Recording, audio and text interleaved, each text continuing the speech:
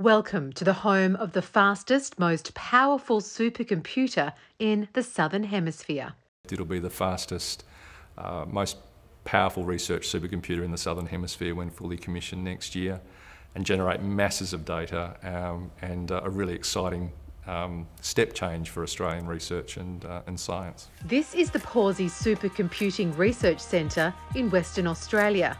Inside, these machines are helping researchers find the solutions to some of the world's most complex problems.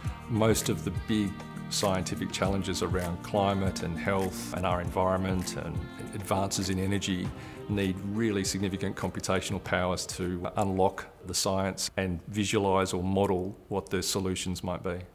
The arrival of the new Setonix supercomputer is a game changer. So our current system, Magnus, which will decommission um, on the arrival of Setonix, what it can do in one second would take a, a, human calculator over 31 million years to, to do, which is impressive. Our new system, Setonix, is going to be 50 times faster than Magnus. Supercomputing is solving some of the biggest mysteries of the universe and with a click of the button is turning some very complex data into easy to understand information so that researchers can see the world like they've never seen it before.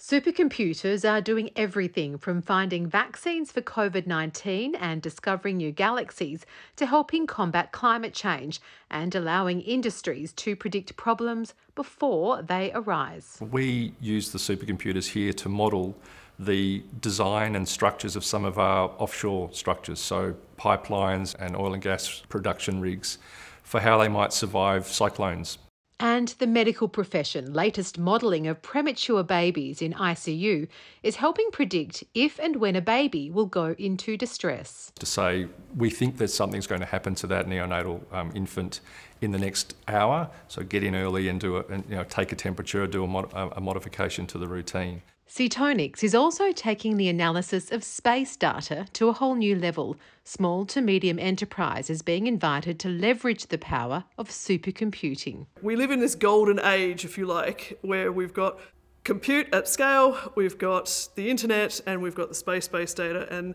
the evolution of machine learning and analytics to be able to do some really fantastically cool things.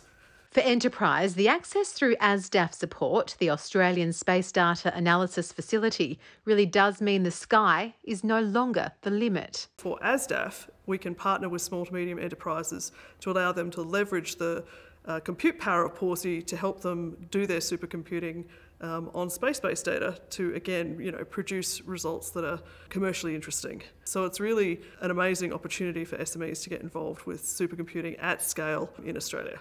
An exciting time for researchers and younger generations who face important challenges. They know the importance of um, us doing something about climate change or doing something about getting the plastics out of the oceans, and they care. It's a tool that has the power to change the world. I believe that these supercomputers have the ability to save lives, save the planet, um, hopefully, I don't know, maybe save us from each other.